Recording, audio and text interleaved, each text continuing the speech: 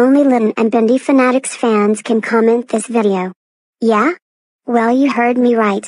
So if you're fan of Litten and Bendy Fanatic or a big fan of Litten and Bendy Fanatic then you may comment this video whatever you like.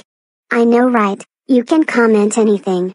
Trust me I'm sure you're fan or you're a big fan of him.